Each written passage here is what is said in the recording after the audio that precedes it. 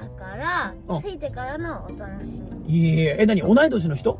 うーん年上。は？とと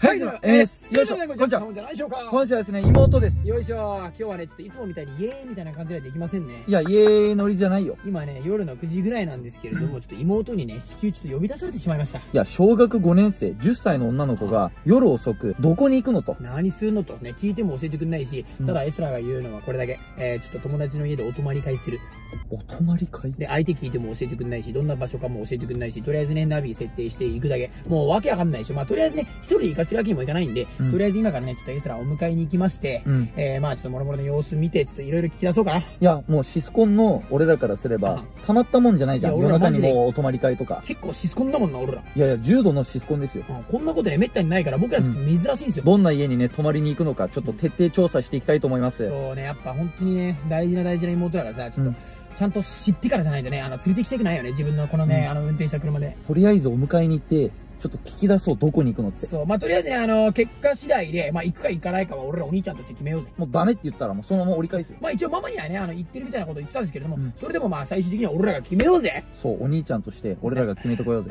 いや俺らちょっと悪いお兄ちゃんだね妹からしたらいやいやいや、妹思いなお兄ちゃんたちなんですよ。だねはい早速ちょっとね妹の方をお迎えに行ってきましょうかよいしょ。よいしょいやまあ妹からすれば最悪なお兄ちゃんたちだな。ちょっとエスラちゃんどういうこと？何事？なんでこんな時間にここに呼んだの？はいお泊まり会に行くから。お泊まり会ってお前今何時かわかるか？9時だよ。えどうすんの？んどこ行くの？だからお泊まり会しえだからその相手は誰？お前わかる？いやいや、わかんないもん。さっき電話して聞いてもさ、教えない、ついてからのお楽しみとか言ってさ、お前何歳だよ？小学5年生がこの時間にお泊まり会。どういうこと？明日学校ないよいやいやいやいや、あの、誰の家に行くか教えるまで、この車は出発しません。うん出発しませんから。はい、うん。教えて。だからあついてからのお楽しみ。いやいやえ何？同い年の人？うーん年上。は？と、と、と、と、おい年上っつってるぞこいつ。と、と、と、と、と、とバカお前お前年上？こっちに言ってんの？と、と、と、と、と、と、と、と、と、と、年上？誰だよそいつ。カイト君ケンジ君何？何君おい、おい、一目合わせろよ。おいどういうことだよあお母さん。お母さん。お母さん。お母さん。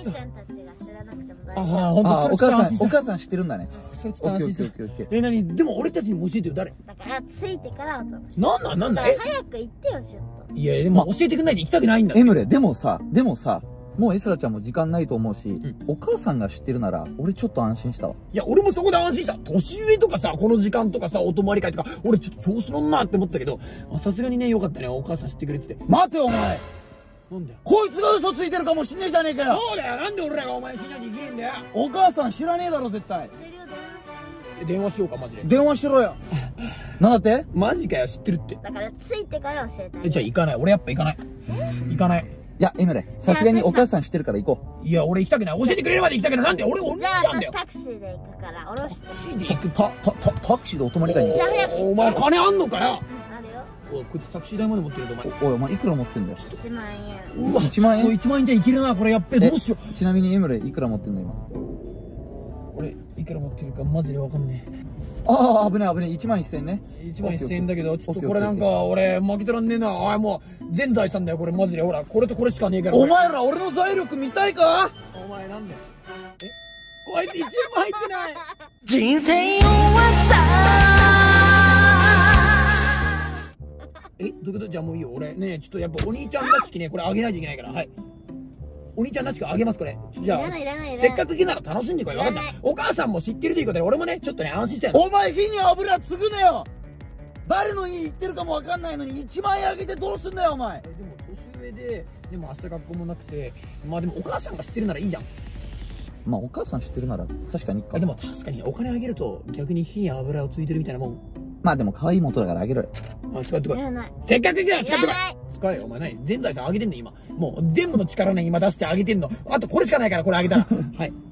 やだやだなんでお金が嫌いなの？いや、嫌いなんじゃないんだよ。こいつはね、あの、本当にめちゃくちゃいい子で、うんあの、なんかもったいないとかいつも言い出すじゃん。ねいつもそうだよねそう、なんかやっぱ、まあ持っててるもんまあそう思ってるしああ、やっぱセレブは違うね無駄遣いがしたくない本当に、うんまああの言い方悪いけどケチ、いい意味のケチうん、やっぱセレブはね、やっぱ違うなそう。だから将来めちゃくちゃいい子になるよ絶対早くあ行こ、はい、じゃあ行きましょうか。いやマジで行くの？お前まあ、お母さん知ってるから行こう。えお前 OK 出したの？まあ、お母さんが知ってるなら俺は別にいいよ。俺ちょっとね、あの、お兄ちゃんとして、ね、ちょっと嫌なんだよね。本当はね、誰か知らないね、あの、人の家に、この時間に妹を、小学5年生の妹を送るのは嫌だ。まあ、確かにさ、それはさ、お前の気持ちは俺わかるよ。でもさ、エスラちゃん、何泊行くの？2泊3日。バカいいよ、お前。2泊3日ってお前なんな、えー、俺でも行かねえよ、2泊3日。だってさもう夜だしさつまんないじゃん今。お前今日は寝るだけだもんな。何そのキャリーケース持ってるけど、え、ガチのお泊まり会？キャリーケースまで持ってんよ、お前。まあ、こんな、あの、本気出してお泊まり会約束したならさ、さすがに遅刻は、やっぱダメじゃん。え、これ本物のキャリーケース俺なんかさっきさ、あの、渡されて、なんかちょっと飾りだと思ってたけど、え、本当に入ってんの？いや、本物だろ、俺持ったわ、重いよ。えガチ？マジ？お前持った？いや、持ってる持って。マジ？お前そんなお泊まり会ある？キャリーケースでお泊まり会ってある？いや、大丈夫。俺中身ちゃんと確認したから、さっき。あ、大丈夫？大丈夫だ？あの、普通に、あの、修学旅行に持っていくものしか入ってないから。ああ、よかった、よかった、よかった。え、じゃあ、行くよ？行くよ？じゃあもうせっかく行くならお前楽しんでこい。分かった？ちょっと俺、そんなにね、あの、心狭くないから。お前さ、お金の渡し方が下手くそなんだよ。かっこいい男のね、お金の渡し方はこうなんだよ。エスラちゃん、ポッケ。あぐしゃぐしゃにしないよあ。これでいいんだよ。あ相手に選択肢を与えない。男に二言はないってやつだよ。やっぱでもね、大切にしてるね、お金。ぐちゃぐちゃになるって。ごめん。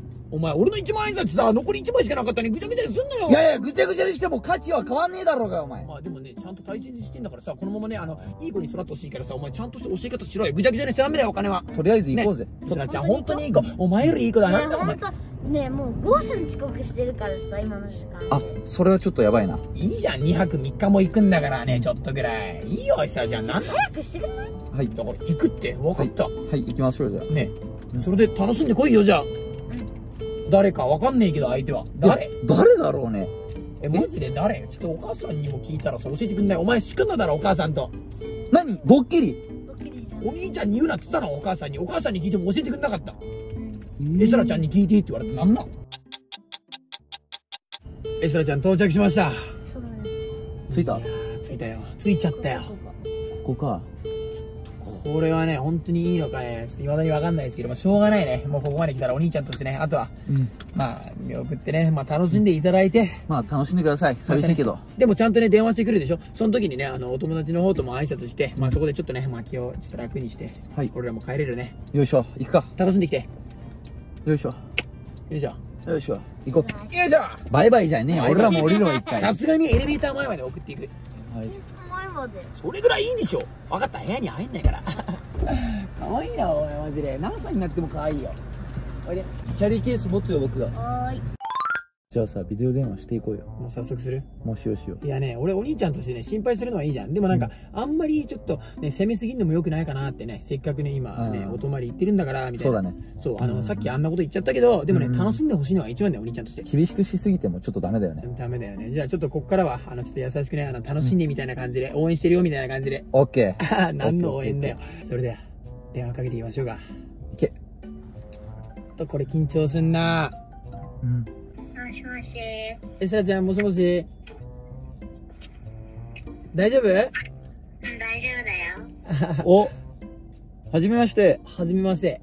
マジでおいやよかったよかったね。はいはいはいあの、女の子たちでね、女子会かな？そうだよそうだねおじゃあ僕たちも移動して大丈夫だね。もう今ちゃんと顔の確認もできたし。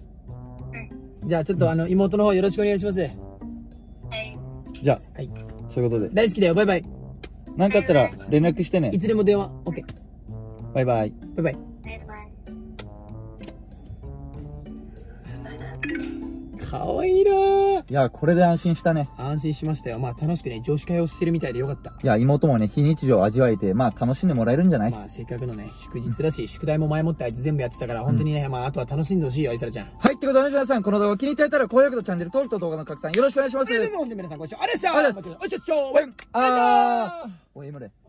おい、エムレあ。俺安心したとかさ、動画では言っちゃったけどあ、無理だわ、俺妹いないと家帰れないじゃ。あどうすんだよ任せろ。俺隣の部屋借りたいだよ。バカお前そんなすぐ借りれんの？当たり目だよ、世の中これだよ。ああ、それでさ、壁と壁近いからさ、あちょっとあのコップ置いて糸電話みたいな感じで話聞けるね。糸電話で女子会の内容。これみんなにバレたらやっべえけどバレるわけねえよな。フラッシュがついてるけど。なんでフラッチついてんの？お前何、きっと月ってんの何炎上だよこれお前これシスコ炎上だよ、バカの前シシシシシスコ炎上だよ